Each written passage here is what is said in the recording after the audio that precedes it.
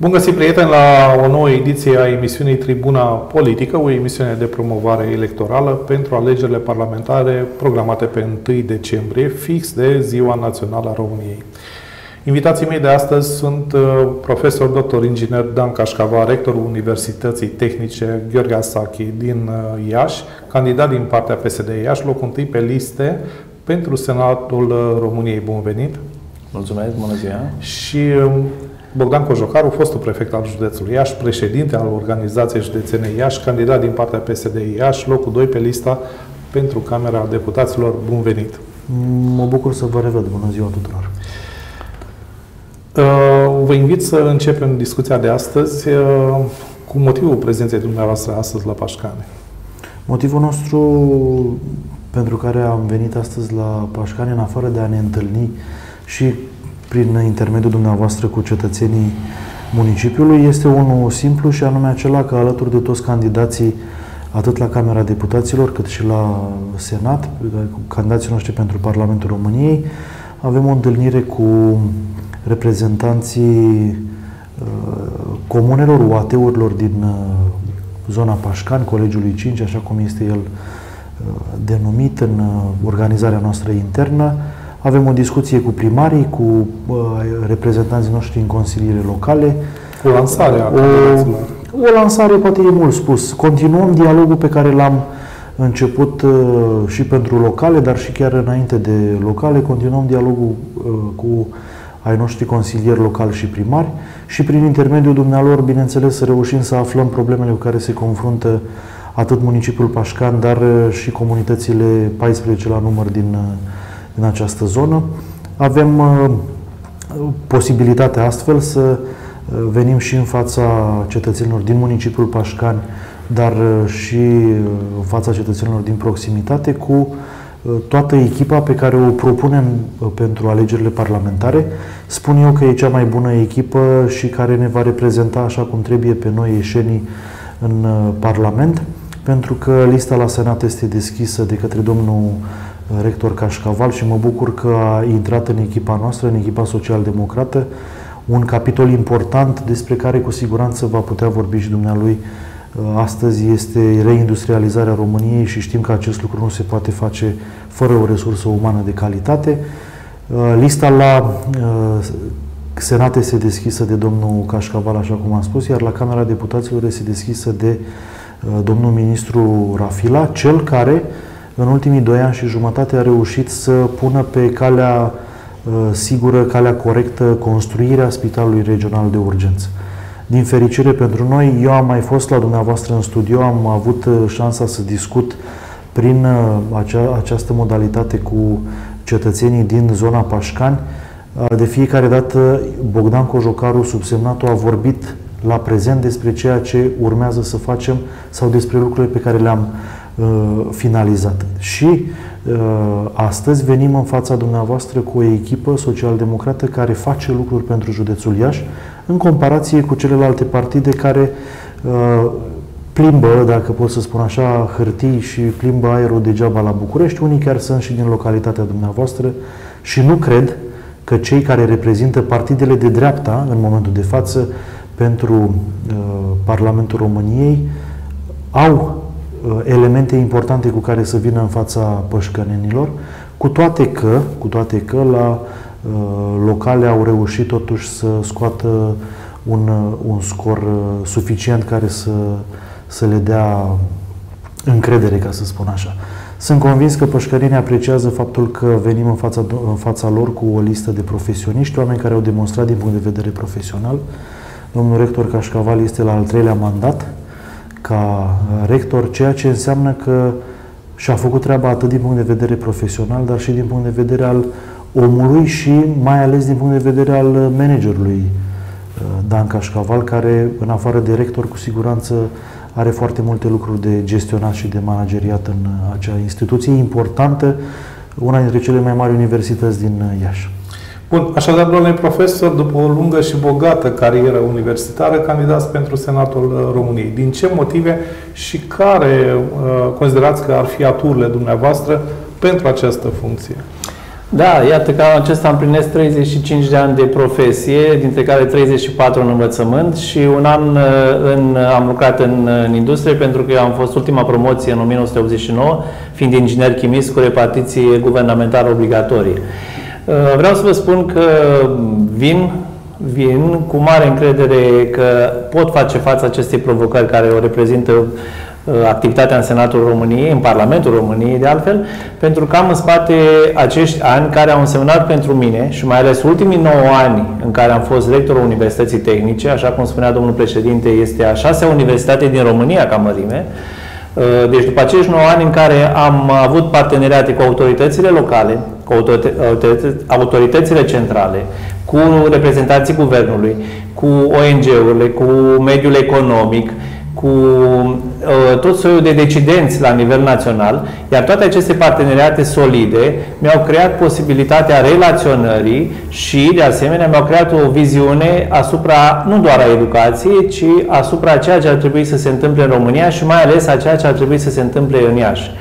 Uh, vin pentru că iubesc foarte mult Iașul și în toate lorile mele de cuvânt, de dinainte de a intra în campania electorală sau de dinainte de a alege o cale politică pentru a putea susține ieșenii. Deci în toate lorile mele de cuvânt am subliniat faptul că Iașul, ca județ, Moldova, uh, ca regiune, a fost mult lăsată în urmă, în urma celorlalte uh, regiuni ale țării și înainte de 89, dar și după 1989.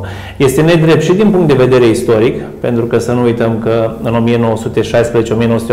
1916-1918 Iașul a reprezentat practic salvarea României când uh, s-a retras la Iași și uh, Casa Regală și Guvernul României, chiar în aula Universității Tehnice de la noi a funcționat Senatul României în cei doi ani de război, deci practic a fost salvarea României la momentul respectiv când populația Iașului a crescut de 10 ori în doar uh, două săptămâni. Și pe de altă parte, Iașul, ca oraș, este al doilea oraș ca mărime din România, ca număr de populație. Deci, merită mult mai mult mult mai mult regiunea noastră decât a avut-o până acum și cred că toată această experiență pe care o am în spate va putea fi, va reprezenta o voce puternică sau cum mai spun eu, dar în cel mai serios sens al cuvântului, o voce obraznică în Parlamentul României. Bun. Ce uh, anume doriți să faceți pentru județul Iași ca parlamentarii PSD? Ce le spuneți colegilor, membrilor de partid, celor care vă întreabă, cei cu care discutați? Păi, eu o să vorbesc strict de componenta administrativă și cea care ține de investițiile pe care reușim și am demonstrat în ultimii ani că reușim să le aducem în județul nostru și cu siguranță domnul uh, rector va putea să discute și din punct de vedere al uh, altor capitole importante din programul nostru de guvernare, mă refer aici la educație sau chiar și reindustrializare, care iarăși este un uh, capitol important. Astăzi, când ne întâlnim cu colegii noștri, vom discuta despre tot ceea ce înseamnă priorități. Știți foarte bine, și ca prefect al județului Iași, am fost aproape de primarii uh, din județul Iași și spun din județul Iași pentru că nu contează culoarea politică. Au fost făcute investiții importante în ultimii ani de zile, uh, mai ales și din nefericire aici trebuie să clarificăm acest lucru, mai ales din fonduri venite de la nivel guvernamental. Pentru că singurele investiții care chiar Uh, se întâmplă în momentul de față, se uh, desfășoară acum în județul nostru, vin doar de la nivel guvernamental. Am mai spus acest lucru, Pașcaniu va avea foarte mult de câștigat în urma uh, celor două autostrăzi care se construiesc în momentul de față. Spuneam că putem vorbi la prezent pentru că viitorul va arăta din ce în ce mai bine pentru municipiul Pașcan și pentru întreaga zonă. A7, inclusiv lotul de la Uh, Bacău spre Pașcani este deja în construcție. 130 de kilometri din această autostradă vor fi dați în folosință până la sfârșitul anului. Am participat chiar uh, marți la o activitate, uh, nu, miercuri am participat la o activitate alături de premierul României, Marcel Ciolacu și de domnul Grindeanu, ministrul transporturilor. Au fost dați în folosință primii 11 km și urmează ca până la sfârșitul acestui an să fie în total 130 de km din autostrada Moldovei A7. Apoi, uh, când veneam la emisiuni la dumneavoastră, poate în 2022 sau 2023, când vorbea uh, subsemnatul ca prefect atunci că vom avea finalizate documentele pentru autostrada 8 și pe porțiunea noastră de la Moțca până la Iași Ungheni. Sunt convins că mulți dintre cetățenii care se uitau atunci la noi din Pașcani sau din zonă credeau că sunt doar cuvinte aruncate pentru că și atunci eram în, catalogați ca oameni din zona politică și facem campanie electorală. Iată că aceste lucruri vorbite atunci se îndeplinesc în momentul sau se transformă în fapte concrete în momentul de față. Săptămâna trecută, premierul Marcel Ciolacu în ședința de guvern a adoptat o hotărâre prin care au fost uh, trecuți, așa cum e folosit acest termen, au fost trecuți prin hotărâre de guvern indicatorii tehnico-economici pentru autostrada A8, porțiunea interesantă pentru județul nostru de la Moțca la Ungheni.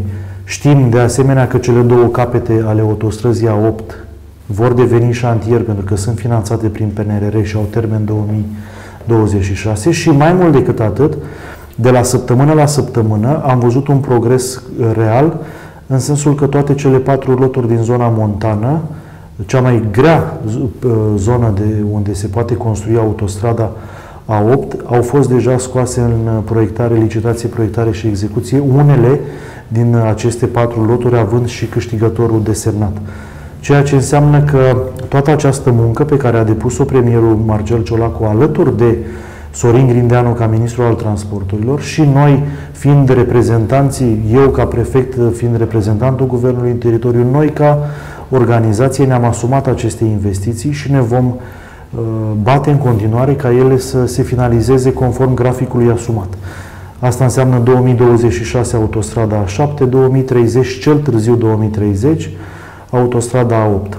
Sunt câteva elemente importante aici pentru că există o bătălie Uh, și pe Spitalul Regional de Urgență și pe aceste autostrăzi de asumarea paternității. Toți merg și Pentru fac că fotografii. toți da. merg și își fac fotografii neavând niciun merit. Inclusiv cei care conduc municipiul Pașcani, Consiliul Județean Iași și alte uh, și alți reprezentanți de la alte instituții își asumă paternitatea neavând niciun rol în, uh, poate să, nu știu, să spunem, din punct de vedere birocratic, la un moment dat au fost nevoiți să dea o hotărâre de Consiliul Local sau de Consiliul Județean ca să se întâmple anumite lucruri, dar um, face parte din uh, fișa postului. Investiția în sine este gândită și identificată sursa de finanțare de către ministrul Sorin Grindeanu. Și sunt elemente importante și vreau ca pășcărenii să știe că de fiecare dată când Partidul Social Democrat a fost la guvernare și la nivel local, mă refer la conducerea Consiliului Județean și la nivel național, a demonstrat că știe să guverneze și știe să guverneze datorită acestor profesioniști cu care venim în fața electoratului, pentru că un guvern se constituie și din membrii Parlamentului României. Și dacă noi astăzi venim în fața dumneavoastră cu uh, rectorul Dan Cașcaval, care cu siguranță are foarte multe lucruri de spus pe zona educației, cu ministrul Rafila, care are foarte multe lucruri pe care deja le face și are o experiență importantă din această perspectivă pe zona sănătății. Sunt uh, două exemple. Nu mai punem în calcul faptul că și zona dumneavoastră, uh, prin votul cetățenilor pe care sper să ni-l acorde pe data de 1 decembrie, zona dumneavoastră poate fi reprezentată de un om care chiar știe administrație. Pentru că vedem că celelalte partide propun tot felul de uh, cărători de mapă, ca să nu le spun altfel, încerc să folosesc cele mai frumoase cuvinte, care au avut posibilitatea în ultimii patru ani de zile să demonstreze ceva pentru pașcani. Ați avut de pe zona de dreapta, din, din partea partidelor de dreapta, și reprezentant în guvern și reprezentant în uh, Parlamentul României. Nu cred că au adus foarte multe beneficii zonei, dar de data aceasta Partidul Social Democrat vine în fața pășcănenilor cu un om care chiar știe administrație. Și mă refer aici la uh, primarul Costel uh, Iosub, care poate să reprezinte zona Pașcaniului după șase mandate, este la al șaselea mandat și cred că este omul care uh, din această perspectivă știe administrație mai mult decât uh, știe oricare dintre cei care astăzi candidează pe lista partidelor, indiferent de dreapta, indiferent că vorbim de PNL, USR și așa mai departe. Bun, domnule profesor, vă rog. Da, trebuie să fie foarte clar că toate obiectivele noastre pe care ni le vom asuma în Parlamentul României sunt clar obiectivele care sunt incluse în planul de, în programul de guvernare și al Partidului Social Democrat și în uh, programul de țară al premierului Marcel Ciolacu. Uh, eu sunt inginer și voi divaga foarte puțin înainte a vă spune posibilitățile mele de acțiune în Parlament. Sunt inginer și sunt obișnuit cu cifrele exacte, cu lucrurile exacte, cu lucrurile clar rămurite și mai ales uh, cu lucrurile limpezi. Programul de guvernare și programul de țară sunt programe care indică cu exactitate, aș putea spune inginerească, termene, sumele, uh, locurile de unde se iau aceste sume finanțările. și mai ales finanțările, exact, finanțările fiecare și mai ales rezultatele. Nu știu cine și-ar putea asuma atât de exact dintre celelalte partide niște rezultate care la virgulă să se spună se va crește cu 3%, de exemplu, va scădea cu 10%, când aceste lucruri sunt foarte clar cuantificate și foarte clar verificate apoi. Deci nu sunt lucruri vagi, sunt lucruri clare. Uh, în ceea ce mă privește, bun, domnul președinte s-a referit la zona de educație, dar categoric rolul meu în uh, Parlament va fi important în această zonă, dar nu doar în această zonă. Pe zona de educație este foarte important și respectând ceea ce s-a, s-a prevăzut în uh, programul de guvernare și în programul de țară, este foarte important să reducem abandonul școlar care este acum mare, la nivel de aproape 30% la nivelul preuniversitar, să reducem prin măsuri care până la urmă au legătură cu situația financiară a familiilor. Pentru că, în general, copiii renunță să meargă la școală din cauza unei situații deficitare a familiilor respective. Iată că programul de guvernare s-a specificat clar că se, să se reducă până la 11% la nivel preuniversitar și până la 3% până în clasa 8 -a. În fond, primele 8 clase, după mine, sunt minimul necesar pentru a avea cât de cât habar de carte uh, copiii. Uh, de asemenea, este foarte important să găsim, să oferim uh, atractivitate studiilor universitare, indiferent de domeniu pentru tinerii noștri. Ori atractivitate pentru studiile universitare nu le poți oferi decât dacă, după ce ai terminat aceste studii, ai un loc de muncă. Și vreau să vă spun, și am dat un exemplu pe care îl, îl dau tot timpul, dar care cred că este cel mai sugestiv.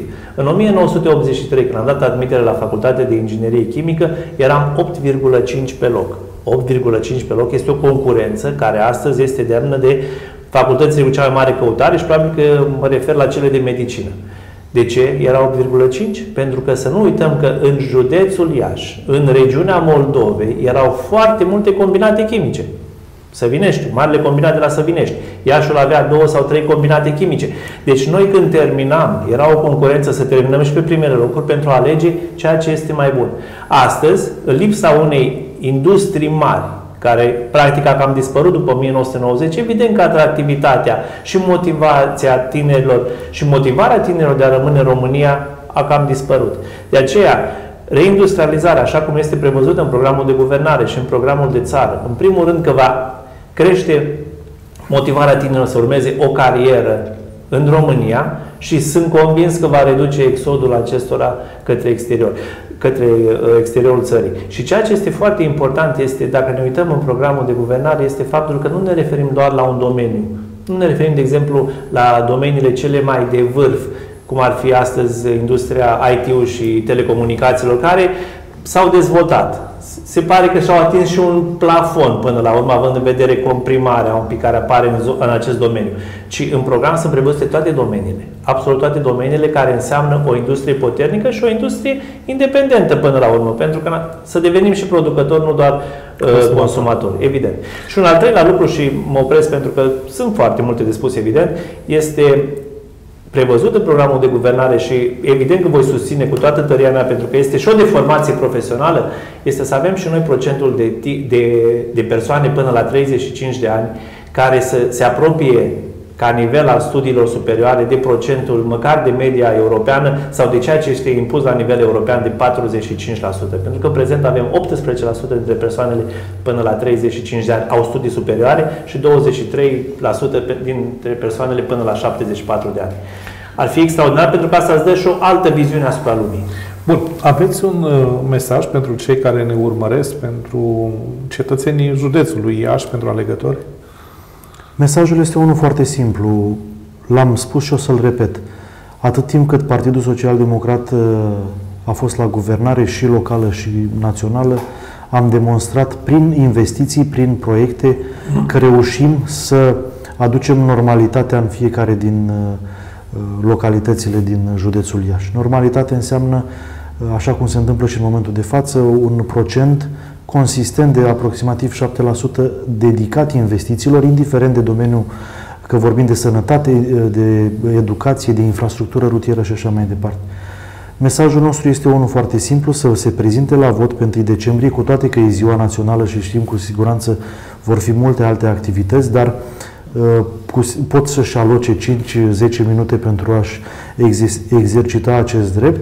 Și alt element important este să se uite înainte de a pune ștampila și să facă o diferență foarte clară între lista pe care o aduce uh, în prim plan Partidul Social Democrat, o listă cu oameni profesioniști, cu oameni care chiar au demonstrat din toate punctele de vedere că sunt cei mai buni în domeniile lor, indiferent că vorbim de domnul Cașcaval, de domnul Rafila, de colegii noștri care vin din zona administrației publice, actual parlamentari sau colegele noastre care uh, au fost uh, sau lucrează în continuare ca profesori în zona preuniversitară. E o uh, listă bună, în așa fel încât să putem să-i convingem pe cetățeni că vom avea cei mai buni reprezentanți care se vor bate pentru proiectele Iașului și pentru proiectele și din, și din zona Pașcani. Am demonstrat acest lucru și avem încredere că în momentul în care vor face această balanță, comparație mai bine spus, vor descoperi că pe lista celorlalte partide sunt doar fini, și nu glumesc în momentul de față când spun acest lucru, fini, fini cu metri sau oameni care uh, au multe carențe din punct de vedere profesional și chiar din punct de vedere al experienței uh, dovedite pe care, de care duc lipsă în momentul de față din punct de vedere administrativ. Iar din această perspectivă, singurii care au de suferit suntem noi, cetățenii din zona Pașcan și cetățenii din județul Iași în, uh, în întregime. Și să nu uităm că suntem și în plină campanie pentru alegerile prezidențiale. Să nu uităm și acest lucru, da, există uh, o primă etapă importantă pe 24 noiembrie, unde la fel sunt convins că au avut posibilitatea să se lămurească despre ceea ce poate să facă fiecare candidat. Vă rog, domnule profesor. Da, uh, am văzut că în ultimii doi ani și jumătate lucrurile au început să se miște. De când uh, este adevărat că este un guvern în parteneriat, dar să nu uităm că până la urmă tonul și direcția o dă primul ministru. Iar în ultimii doi ani și jumătate primul ministru a fost Marcel Ciolacu. Deci lucrurile au început să se miște, au început să recupereze, să se recupereze ceea ce s-a pierdut înaintea acestui guvern și stagnarea și pași înapoi. Iar uh, pentru ca să putem continua acest drum, pentru ca să putem consolida ceea ce își propune Partidul Social Democrat, trebuie ca toți cetățenii să iasă la vot, să susțină în primul rând pe 24 noiembrie președintele României, să susțină apoi alegerile parlamentare candidații Partidului Social Democrat și apoi pe 8 decembrie din nou președintele României. Doar dacă vom avea o echipă puternică, vom putea să ducem la bun sfârșit proiectele pe care și le-au asumat de plină responsabilitate Partidul Social Democrat prin programul de țară și prin programul de guvernare. Bun, vă mulțumesc tare mult pentru participare și dumneavoastră pentru atenția cu care ne-ați urmărit. O seară frumoasă în continuare.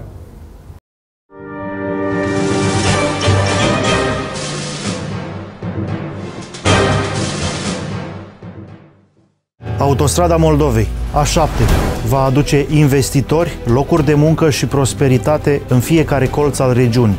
PSD, calea sigură pentru Iași, calea sigură pentru România. Trei direcții prioritare vor consolida poziția Iașului academic. Digitalizarea, cercetarea avansată și conectarea profundă cu mediul economic. Vom transforma Iașul Universitar într-un pol educațional de excelență în Europa. Partidul Social Democrat, calea sigură pentru Iași.